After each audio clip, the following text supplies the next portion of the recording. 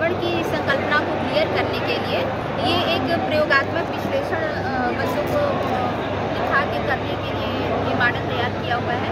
इसमें मैंने देखिए सर, ये एस्टिक एसिड इसमें ले लेते हैं बॉटल में। और अगर ये ट्रांसपेरेंट बॉटल हो तो ज़्यादा अच्छा है, क्योंकि इसमें वो क्लियर दिखाई पड़ता है। जो इसकी यूफ्रेंस होती है, जो झाग होती है, वो ऊपर आती है तो दिखाई पड़ती है। और ये जो है ये बेकिंग सोडा पाउडर है।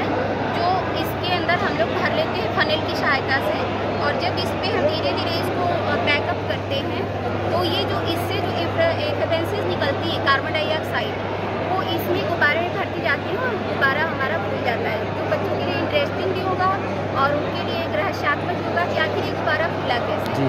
तो इस संकल्पना को हम बच्चों के इंटरेस्ट के साथ और उनके अंदर जिज्ञासा पैदा होता है कि और जाने चीज़ें। जिज्ञासा को भी साथ करेंगे और अपनी टीम वर्क को भी पूरा करना है। ये सब आप ही का है मैम हाँ, अर्चिता सिंह? हाँ ये सब मैंने बनाया। अच्छा बनाया ये बच्चों ने बनाया है बच्चों से क्रिएटिविटी मैंने करा रखी है। ये ये मैंने स्वयं बनाया है ये कुट्टी वर्क है। ओके। है स्ट्रक्चर ऑफ़ सेल से बनाया हाँ। ये पादप कोशिका है। ये फोटोसिंथेसिस का प्रोसेस है हैंगिंग बहुत सारी हैंगिंग बन सकती है लेकिन होता है लाना सब।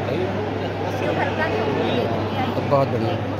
ये देखिए ये मिट्टी का बना हुआ है। हाथ से बनाया आप आप लोगों में आप थ्रेड वर्क है बच्चों के द्वारा किया हुआ ये डिफरेंट टाइप का थ्रेड वर्क है।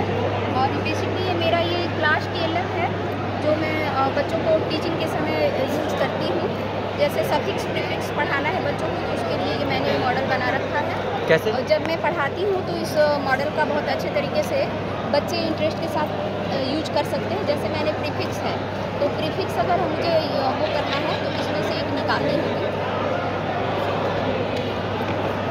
हाँ यहाँ देखिए मैंने लगा रखा है ये जैसे ये देखिए सर ये ये जैसे ये है ना, सर। इसको अगर बच्चे मिला करके इसको करेंगे तो ये देखिए डिस, और इसके बाद ये जब ये जोड़ देते हैं सफिक्स तो ये हो जाता है डिसलाइक। इस तरह से जो शब्दों का ये है, डिसग्रेस, जैसे इससे आप इतने सारे शब्दों को मिला करके डिस के साथ कंपेयर वो कर सकते, कंपोज कर सकते। हैं और इसी प्रकार से प्रीफिक्स प्रीफिक्स के बाद ये सफिक्स वाला मैटर है। तो सफिक्स का मैंने इधर बना रखा हुआ है।